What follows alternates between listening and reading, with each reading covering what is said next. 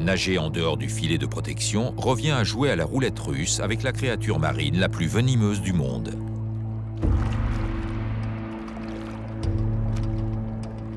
La méduse boîte, ou cubozoaire, dispose de 60 tentacules pouvant mesurer jusqu'à 3 mètres de long.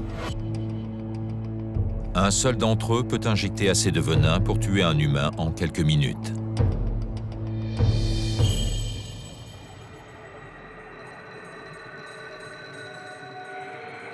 Elle est tellement discrète qu'on ne la voit pas approcher.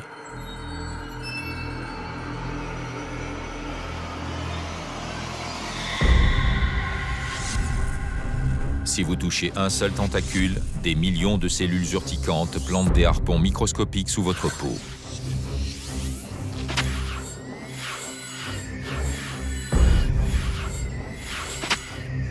C'est l'une des attaques les plus foudroyantes au monde. Elle est dix fois plus rapide que l'éjection d'un airbag lors d'un accident de voiture.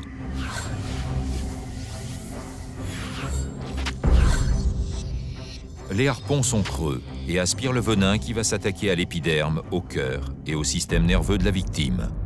Les effets sont immédiats.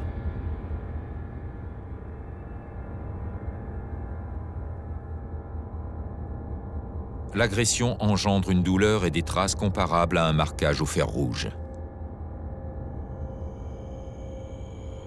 Le venin est si puissant que certaines personnes meurent de douleur avant même d'avoir pu regagner la plage.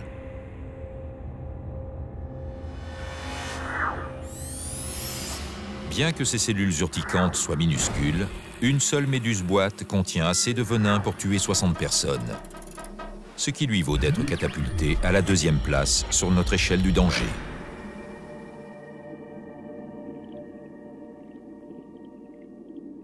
Au cours du siècle dernier, le venin du cubozoaire a tué plus d'Australiens que tous les requins et les crocodiles de la région réunis.